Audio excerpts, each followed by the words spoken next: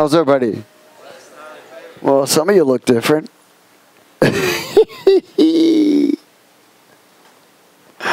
Thank you, Master. Don't you just love God's presence? That's why people go out and use drugs because they're looking for God's presence, but they're deceived. Everybody's looking for God's presence, they just don't know it. That's everybody's problem, the lack of God's presence. Amen? You know, it's pretty powerful because as we were worshiping, I saw people begin to get sucked into God's atmosphere. In other words, they were pressing, going through because of their worship. All of a sudden, they went. And people that were worshiping the Lord truly, with all their hearts, were being sucked into God's presence. He says, I'm bringing them into my atmosphere. So, so many people are expecting God's atmosphere to show up, and He says, I'm bringing you into my atmosphere. That's where He searches those who will worship Him in truth and spirit. Amen? That's why we go after his presence. That's why we lift our hands and surrender. Man, if you can't lift your hands and surrender, you're full of pride, besides demons. Amen? You need some deliverance and healing big time. But God is faithful to complete what he started. He's faithful to complete what he started. He's called the great overseer. Everyone say, great overseer. Go on, lift your hands to heaven and get another drink. Thank you, Master. Thank you, thank you, thank you, thank you, and thank you. Just tell him thank you. The more you thank him, the more you get filled. That's called thanking him to death. Your death. Hallelujah. Glory. Turn your neighbor. Tell him, wake up.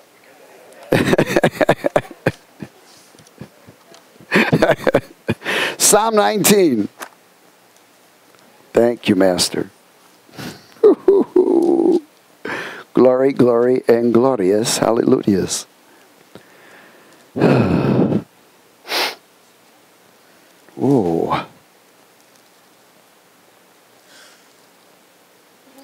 Psalm 19. Of course, today's teaching is called Great Overseer. If you allow him to. he cannot oversee you unless you're willing to cooperate.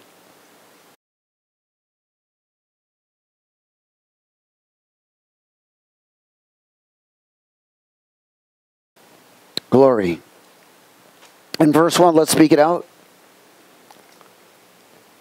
Everybody there? Psalm 19:1 The heavens declare the glory of God, the firmament shows his handiwork. Day unto day utters speech, and night unto night reveals knowledge. There is no speech nor language where their voice is not heard. Their line has gone out through all the earth, and their words to the end of the world. In them he has set a tabernacle for the sun, which is like a bridegroom coming out of his chamber and rejoices like a strong man to run its race. Its rising is from one end of heaven and its circuit to the other end, and there is nothing hidden from his heat or his presence. But see, everything revolves around the tabernacle of God. Everything. That is the portway home. It is the tunnel all the way home. Everything revolves around the tabernacle.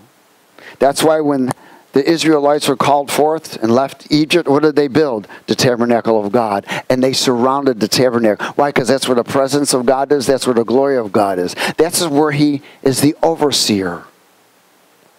So let me share something important to you. And this is one of the things as I was in prayer, the Lord said to me, He says, Not everyone is awakened yet. There are people who are believers, say to they're believers, but they're still asleep for years. 10, 20, 30 years are still asleep. They haven't fully awakened. He says, if he was living in the outer court, you ain't awake yet. That's called a place of conception. That's where you are conceived. But in the holy place, that's why so many miss, that's why the enemy doesn't want people to be baptized in the Holy Ghost or maintain that position because that's a place of awakening. You know, the 12 step programs, their final step is awakening. Unfortunately, they awaken everything else but the truth. People are still going to 12 step. We skipped them all. We jumped right into the glory. but in this, see, this is where the enemy likes to get people out of the second chamber and the third chamber and keep them in the first chamber, which is a place of conception. That's where salvation is. Amen. But there's beyond salvation. And people are not fully awake yet. So they're drowsy. That's why they don't see. Look, there's a difference if someone's awake and who's not, or even someone who's partially awakened. You know, you can talk to them. You'll find out where they're at. Amen. You'll see if they're awakened or not. We want to reach a place of full awakening. Fully awakened. Why? So you see, know, you know all. You're in relationship with the Lord. He's before you in all things. You're willing to accept counsel, correction, and direction. And you're willing to do whatever it takes because it's not you anymore. Amen? It's Him. Hallelujah. Nothing is hidden from His presence. Nothing. He is the great overseer of all things. Some, so many people don't believe. They say they believe, but they don't follow. They refuse to follow. That shows that they don't believe. In 1 Peter chapter 2,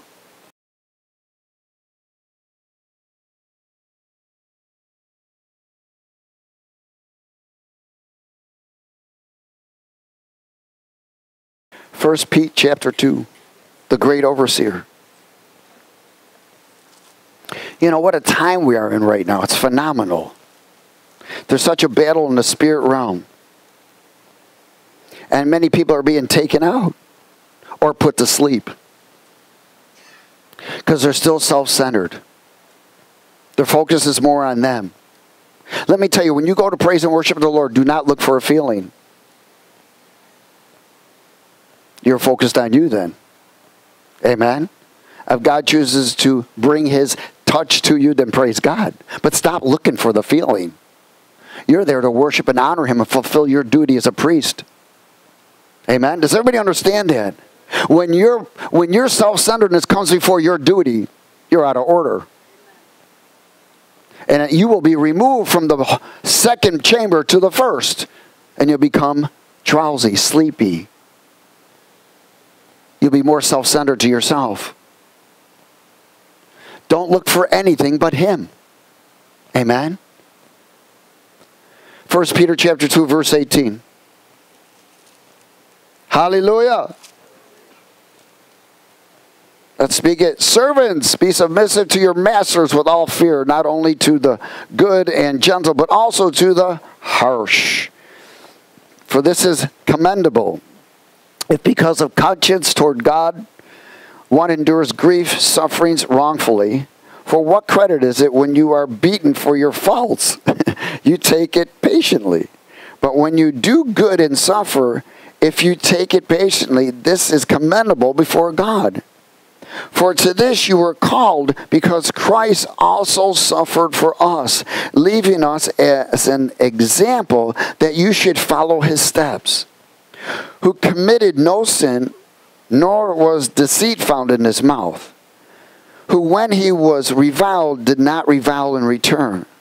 When he suffered, he did not threaten, but committed himself to him who judges righteously, who himself bore our sins in his own body on the tree, that we, having died to sins, might live for righteousness, by whose stripes you were healed. For you were like sheep going astray, but have now returned to the shepherd and the overseer of your souls, who oversees our souls. That we are in a process of conversion and regeneration into his image and likeness. That continues, it never stops. Never. In Ephesians chapter 4.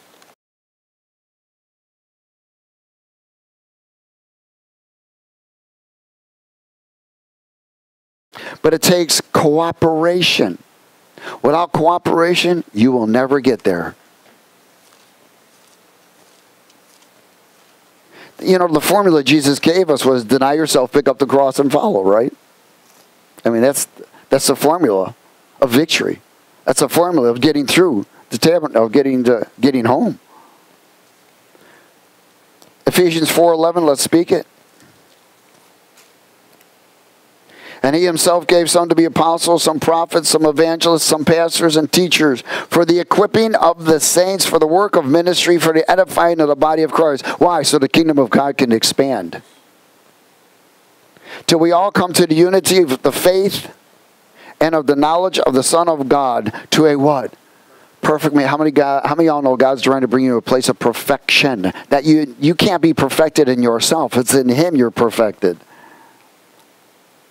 to the measure the stature of the fullness of Christ, so that the fullness of God's character is manifested through you. That we should no longer be children, tossed to and fro and carried about with every wind of doctrine by the trickery of men and the cunning craftiness of deceitful plotting, but speaking the truth in love may grow up in all things into him who is the head Christ, from whom the whole body joined and knit together by what every joint supplies, that's by cooperation, according to the effective working by which every part does its share, causes growth of the body for the edifying itself in love to the perfect man to the, so we must allow the Spirit of the Lord to get in every area of our members and allow Him have full control. Because when He gets perfect control, we become pliable. We become pliable in the Master's hand. And that's when He begins to use us for service. In Jeremiah 18.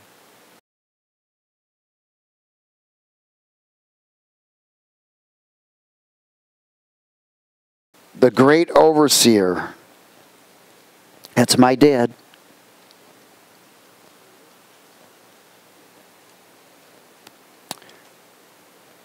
Perfecting all things for his glory.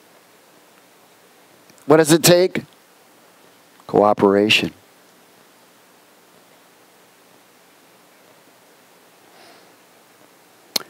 Verse, eight, uh, verse 1, chapter 18. The word of the word which came to Jeremiah from the Lord, saying, Arise and go down to the potter's house, and there I will cause you to hear my what? Welcome to the potter house. Hallelujah. Then I went down to the potter's house, and there he was, making something at the wheel. The wheel is known as the anointing. And the vessel that was made of clay was marred in the hand of the potter.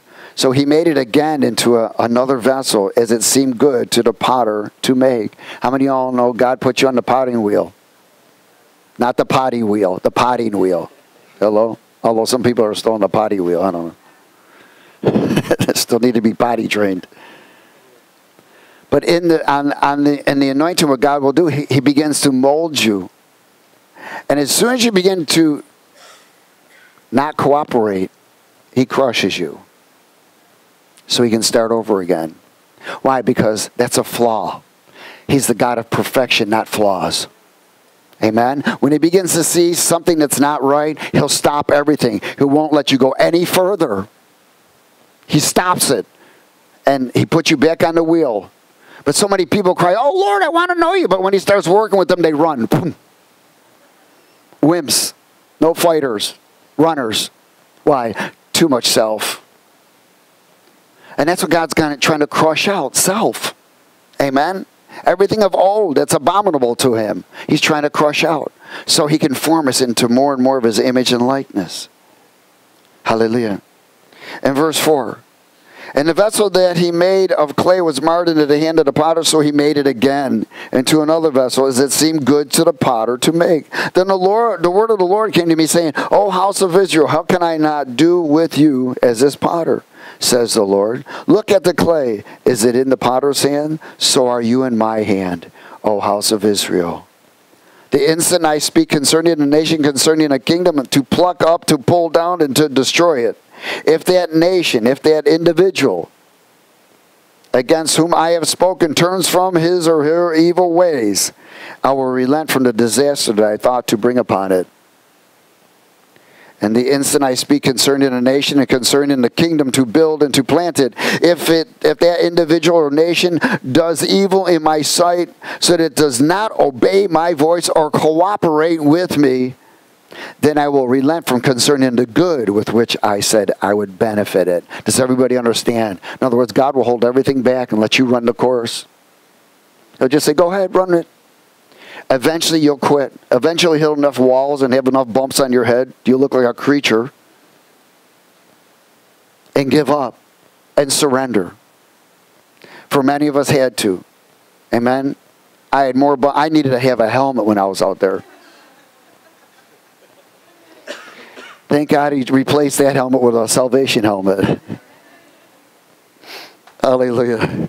So, what's he trying to do? We're trying to become vessels of honor by the great overseer. Hallelujah. In Psalm 139.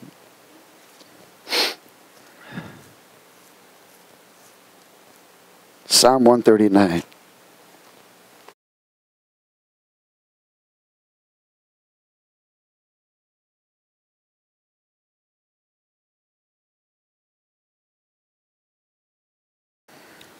What gets us in position? What two things that we talked about before?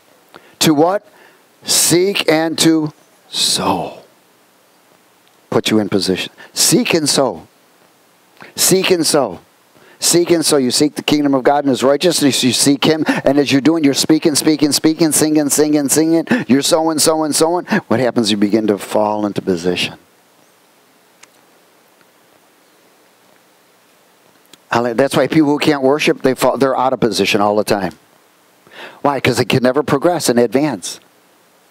What brings you to the next place is God's. The more God's presence, the more you change. Psalm 139, verse 1. No, yes. Okay.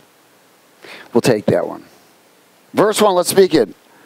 Oh Lord, you have searched me and known me. You know my sitting down and my rising up. You understand my thought afar off. You comprehend my path and my lying down, and are acquainted with all of my ways. Why? Because he's the overseer, he knows everything. And there is not a word on my tongue, but behold, O Lord, you know it altogether. You have hedged me behind and before, in other words, protected me, and laid your hand upon me. Such knowledge is too wonderful for me. It is high. I cannot attain it. Where can I go from your spirit? Or where can I flee from your presence? If I ascend into heaven, you are there. If I make my bed in hell, behold, you are there. If I take the wings of the morning and dwell in the uttermost parts of the sea, even there your hand shall lead me, and your right hand shall hold me. If I say, Surely the darkness shall fall on me, even the night shall be light about me. Indeed, the darkness shall not hide from you. But the night shines as the day, and darkness and the light are both alike to you. For you formed my inward parts. You covered me in my mother's womb. I will praise you, for I am fearfully and wonderfully made. Marvelous are your works, and that my soul knows very well. My frame was not hidden from you when I was made in secret and skillfully wrought in the lowest parts of the earth. Your eye saw my substance being yet unformed, and in your book they were written, the days fashioned for me, and when as yet there was none of them. How precious also are your thoughts to me, O God. How great is the sum of them. If I should count them, they would be more in the number than the sand. When I awake, I am still with you. So is awakening essential? Yes. Isn't that what's happening over the whole world right now? That's called the Great Awakening. The problem, not everybody's being awakened or partially awakened. You know, even when 9 11 came, many people got awakened for a moment. Then they went right back. And now, many of them that were awakened for a moment went back are worse than they've ever been. They're back asleep and serving darkness. See, when you fall asleep, you serve darkness. Amen. He knows it all. He's bringing us to a position and a place of perfection, fully awakened to his call, purpose, destiny with all truth. He's putting us to a place and position of perfection, fully awakened, fully awakened, fully awakened to his call, his purpose, and his destiny with all truth. Glory. Ephesians 5. Why? Because he's the great overseer.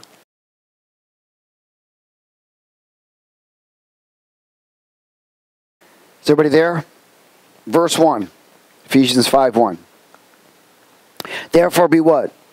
Imitators of God as dear children, and walk in love as Christ also has loved us, get himself for us as an offering and a sacrifice to God for a sweet smelling aroma. Let me explain something about that sweet smelling aroma. That sweet smelling aroma is released when you overcome in worship. When you overcome yourself, does everybody understand it? When you overcome yourself and the powers and attack of the enemy, when you overcome and pass over, poof, a sweet smelling aroma goes before God. Other than that, you stink. Hello? We want a sweet smelling aroma, not man made deodorant. When you cross over, when you overcome, why? It's like friction. You overcome. And something sparks, and that sweet smelling aroma goes before God. He goes, There's my victory in him, in her. Awesome. Anyway, I thought you might want to know that. Hallelujah. All right, where we at? Oh, yeah.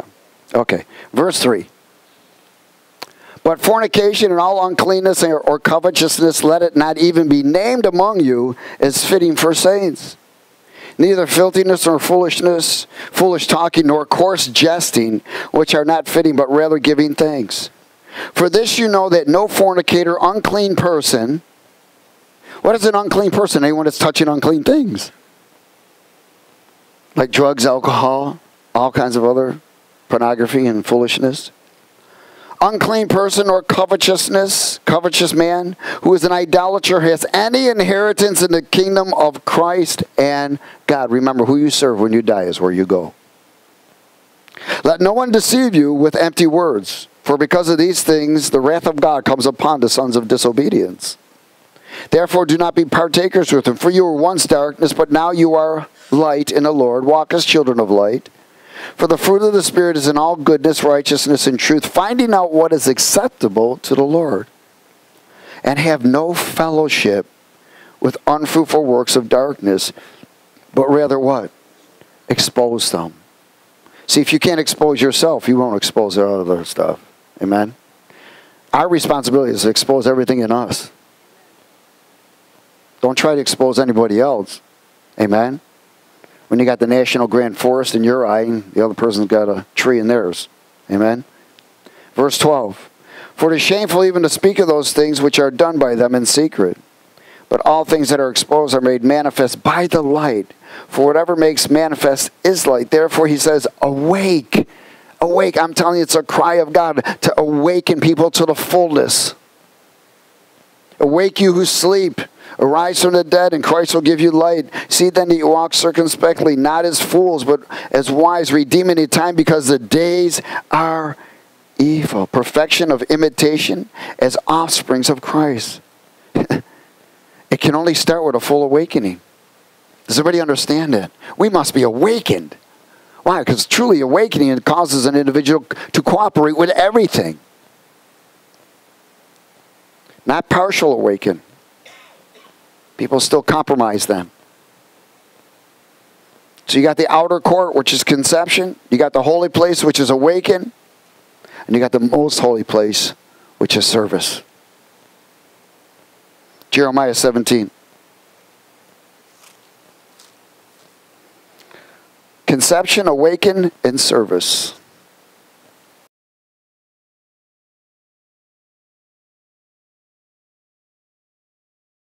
Glory.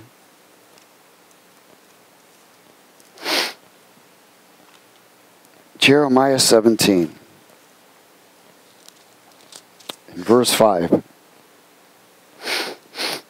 Can a person that's fully awakened trust God? Yes. So a person that's partially awakened or has gone from awakenedness to partial sleep will not. They'll be teeter totters. They'll compromise. They're like uh, roller coasters up and down. They'll still be led by how they feel. People that are led by how they feel are dangerous. They're dangerous. Because they allow their feelings to dictate and make decisions. That means they don't have control over themselves. But you must be fully awakened. When you are fully awakened, there is dominion over everything. Verse 5, let's speak it. Thus says the Lord Cursed is the man who trusts in man and makes flesh his strength, whose heart departs from the Lord. And he shall be like a shrub in the desert. He shall not see when good comes. Wow, why he's going to miss God's opportunities all the time. But shall inhabit the parched places in the wilderness, a dry land. In a salt land which is not inhabited. In other words, that person will have no presence. But blessed is the man who trusts in the Lord, whose hope is the Lord. For he shall be like a tree planted by the waters, constantly being fed, which spreads out its roots by the river, and will not fear when heat comes. But its leaf will be green, and will not be anxious in the year of drought. Oh, many people. That's where people, when they're relying on self centeredness, anxiousness is a part of the fruit of it. They're anxious for everything. They can't trust, will rest or wait nor will cease from yielding fruit. The heart is what? Deceitful above all things and desperately wicked. Who can know it? I, the Lord, search the heart. I test the thoughts of man, even to give every man according to his ways, according to the fruit of his doings. I know everybody here wants to be blessed, but you must sow your way out of cursed. 1 Samuel 16.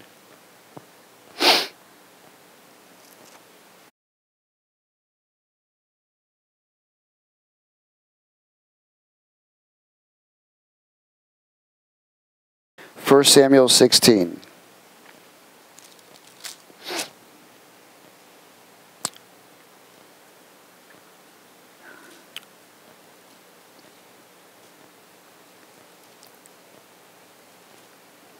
Hallelujah. In verse 1. Now the Lord said to Samuel, How long will you mourn for Saul who was king? See, and I have rejected him from reigning over Israel. Fill your horn with oil and go. I am sending you to Jesse the Bethlehemite, for I provided myself a king among his sons. And Samuel said, How can I go? If Saul hears it, he will kill me. But the Lord said, Take a heifer with you and say, I am coming to sacrifice to the Lord. Boy, the Lord's got sneaky good ways, you know. He knows it all. Then invite Jesse to the sacrifice, and I will show you what you shall do. You shall anoint for me the one I name to you. So Samuel, the prophet of the Lord, did what the Lord said and went to Bethlehem. And the elders of the town troubled at his coming and said, Do you come peacefully? Why? Because they feared him. And he said, Peaceably, I have come to sacrifice to the Lord. Sanctify yourselves and come with me to the sacrifice. Then he consecrated Jesse and his sons, and he invited them to the sacrifice. So it was when they came that he looked at Eliab and said, Surely the Lord's anointed is before him. But the Lord said to Samuel, Do not look at his appearance or at his physical stature, because I have refused him. For the Lord does not see as man sees. For the Lord looks at the for the man looks at outward appearance, but the Lord looks at the heart. Why? The heart is the core of all desire. Whatever your desires are is what your fruits are. He knows exactly what your desires are. They are before us all the time. So Jesse called Abadiah and made him pass before Samuel, and he said, Neither has the Lord chosen this one. Then Jesse made Shimon pass by, and he said, Neither has the Lord chosen this one. Then Jesse made seven of his sons pass before Samuel. And Samuel said to Jesse, The Lord has not chosen them. And Samuel said to Jesse, Are all the young men here? Then he said, There remains yet the youngest, number eight, meaning new beginning. Hallelujah. there remains yet a younger one. And there he is keeping the sheep. And Samuel said to Jesse, Send him and bring him, for he'll not sit until we will not sit until he comes here. So he sat and brought him in. Now he was uh, ruddy, with bright eyes, good looking. And the Lord said, Arise, anoint him, for this is the one. Then Samuel took the horn of oil and anointed him in the midst of his brothers. And the Spirit of the Lord came upon David from that day forward. So Samuel arose and went to Ramah. Now look at, I want to show you something next. But the Spirit of the Lord departed when the, so the Spirit of the Lord departed from Saul, the king, and a distressing spirit from the Lord troubled him. Let me tell you, without God's presence, once you walk away from God's presence, demons come instantly instantly and take you over, and you don't even know it. Next thing you have desires of the world, desires to use drugs, desires to do this, desires, all fulfilling of the flesh. That's it. Why? No presence. Gone. Does everybody understand? So we see that the eighth son of meaning new beginning. Hallelujah. Remember, God said, I searched the heart. He knows the desires of a man. See, David was a man after God's heart. Even though he made mistakes, he was still a man after God's heart. He stood, he, when David used to run, he used to get in front of the ark. When he saw many people die touching the ark, he still ran to the ark. He worshiped the Lord, even in his underwear. He didn't care. He went in God's presence because God's presence was everything to him. And it should be everything to me and you. That's why people blow it. No presence, lack of presence, lack of that desire, no connection. And that's the enemy's ploy, isn't it? Didn't he just get, didn't he just finish all of that? He, pre- he prevented people from assembling. You know, they want to drive through video on internet worship stuff like that. Forget all that crap. That's not how God wanted it. He wants us in His presence by what? Worship, worship, worship. Ezekiel 36.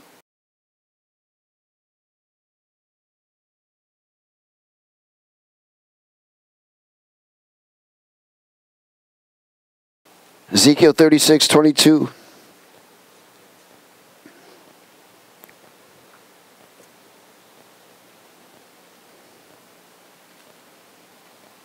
Is everybody there? Anybody there? Praise God. Let's speak it. Therefore, say to the house of Israel, Thus says the Lord God, I will, will I do not do this for your sake, O house of Israel, but for my holy name's sake, which you have profaned among the nations wherever you went. Thank you. I will sanctify my great name, which has been profaned among the nation, which you have profaned in their midst. And the nations shall know that I am the Lord, says the Lord God, when I am what? When I am hallowed in you before their eyes. In other words, when I am expressed in you, when I am awakened in you. See, before that, we were all abominations. Amen? Profaning the name of God. Why? Just it didn't, it didn't mean you had to speak it. It means we lived a life of darkness. Many people out there have backslidden, call themselves Christians. That's profaning the Lord. Amen. But thank God for His mercies and grace that are new every morning. He gives us he, His opportunities never stop. Never. They never stop. Hallelujah. He said this. He says, verse 24, For I will take you from among the nations, gather you out of all countries, and bring you into your own land.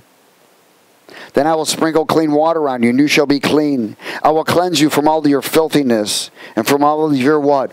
Idols, because idols are filthiness. How many of you, you can be your own idol?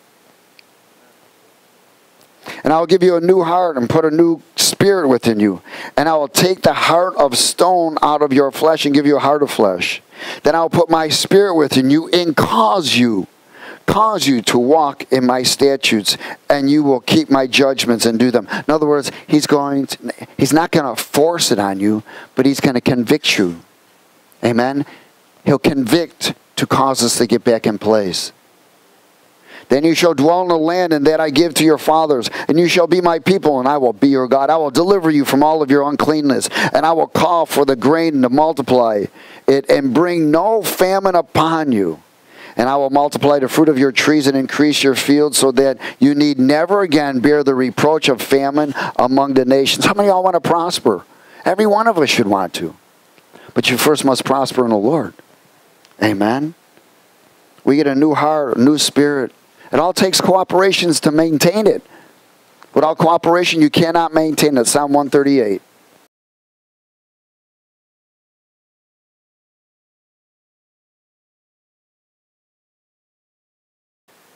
Why? Because he is the great overseer.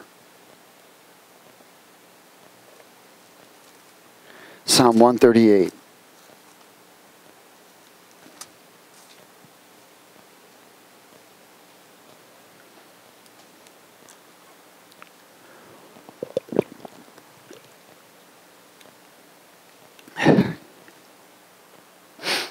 Verse 1, let's speak it together. 1 through 8. I'll praise you with my whole heart. Before the gods, I will sing praises to you.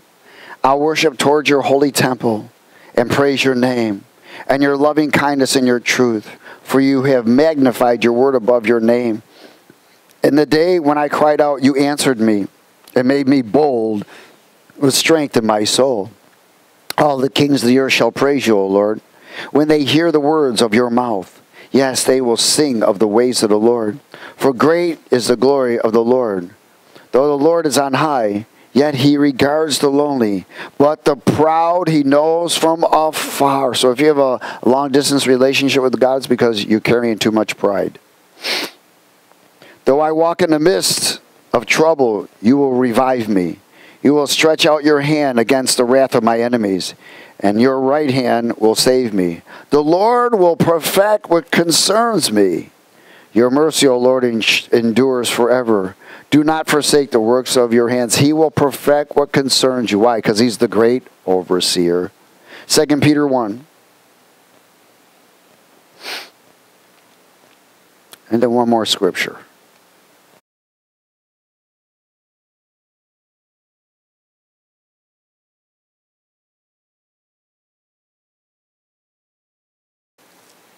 Hallelujah. In verse 2.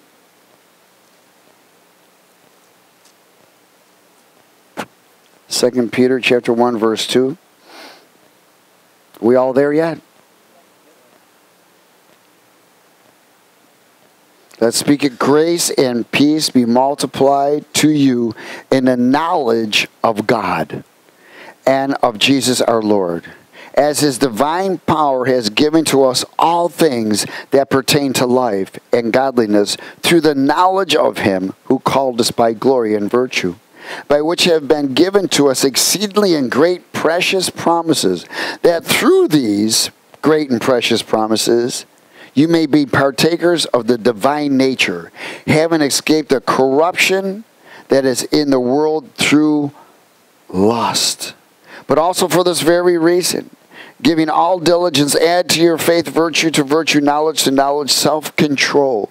To self control, perseverance, to perseverance, godliness. To godliness, brotherly kindness, and to brotherly kindness, love. For if these things are yours and abound, you will neither be barren nor unfruitful in the knowledge of our Lord Jesus Christ. For he who lacks these things is short sighted, even blindness and has forgotten that he was cleansed from his old sins. Therefore, brethren, be even more diligent to make your call and election sure. For if you do these things, you will never stumble. But so an entrance will be supplied to you abundantly into the everlasting kingdom of our Lord and Savior, Jesus Christ. Escaping the corrupt, God always makes a way of escape, man. Escaping the corruption as partakers of the divine nature provided by the great overseer. Man, He's provided everything for me and you. And I'm going to close at Psalm 103. We just got to partake, and partake takes cooperation.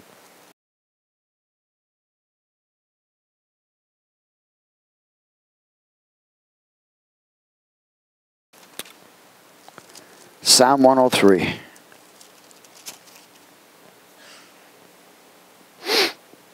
And verse 1.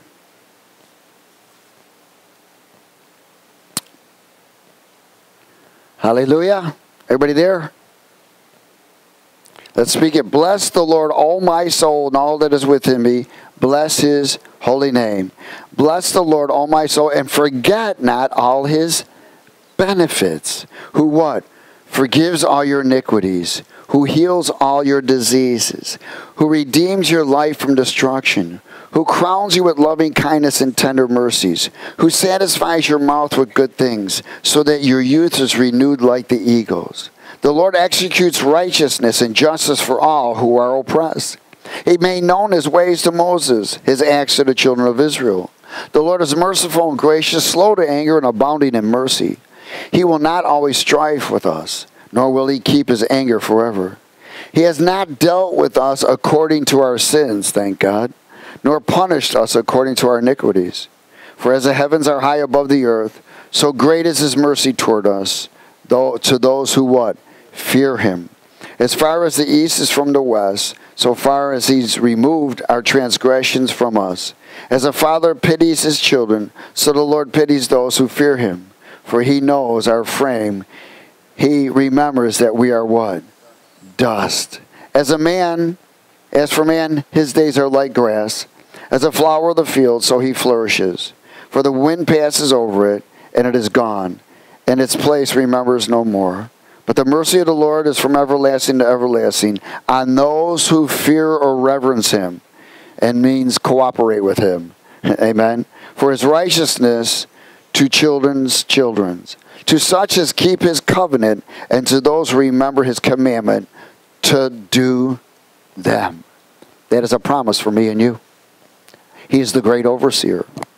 Amen. Let him perfect what needs to be perfected in you. Let him put you on the wheel. Don't jump off. Amen.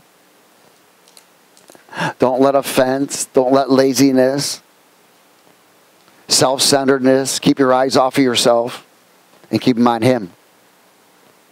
Don't be concerned what people think, be concerned what He thinks. Most important thing. and stay in divine order and holy order. Those two things are essential. And how do we get in position? To seek and to sow. Praise God. Father, we thank you for your word. We are honored and blessed. We ask that you seal your words that have been imparted in us with the blood of Christ and the seal of the Holy Spirit, so that it may grow and bear fruit for your glory. In Jesus' name.